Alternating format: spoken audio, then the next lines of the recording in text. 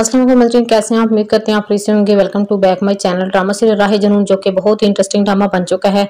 आने वाली एपिसोड में आप लोग देखने जा रहे हैं कि अब मेहर की यूनिवर्सिटी वाली फ्रेंड ही मेहर को सब कुछ बताएगी, लेकिन उसे शबरेज मना करेगा कि तुमने कुछ नहीं बताना। जिस पर उसकी फ्रेंड कहेगी कि नहीं, मुझे आज सब कुछ बताने दो। आज मैं चुप नहीं रहूँगी। इसे भी पता चलना चाहिए कि तुमने इसके लिए क्या कुछ नहीं किया। जब फाद किडनैप हुआ था तो उस दिन शबरेज का इस कदर एक्सीडेंट हुआ, खतरनाक के और आईसीयू में था कि वो कितने दिन बोल भी नहीं सका। लेकिन जब उसे होश आया तो जब उसे ये पता चला कि तुम्हारी उस्मान से शादी हो चुकी है, वो सोच चुका था कि मैं अब मेहर की ज़िंदगी में कभी भी मुदाखलत नहीं करूँगा, अगर वो उस्मान के साथ खुश है तो।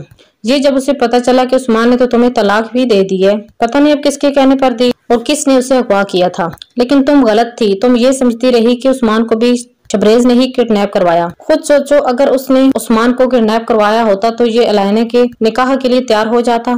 लेकिन जैसे इसे यही पता चला कि उस्मान तुम्हें तलाक दे चुका है तो अपनी शादी का फ़ंक्शन छोड़कर तुम्हारे लिए भागा आया कि मेरी मेरे परेशान होगी और इस वक्त उसे मेरी बहुत ज़रूरत है।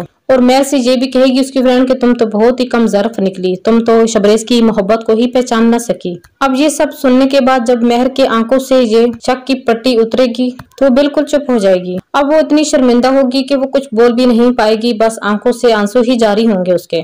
और वहाँ से चुपचाप वो चली जाएगी। मजीद ड्रामा प्रोमो के लिए हमारे चैनल को सब्सक्राइब करें, वीडियो को लाइक और शेयर करें, साथ में लगे बेल प्रेस करें, ताकि हमारी आने वाली हर नई वीडियो का नोटिफिकेशन आप तक बस आसानी पहुँचता रहे। शुक्रिया, अल्लाह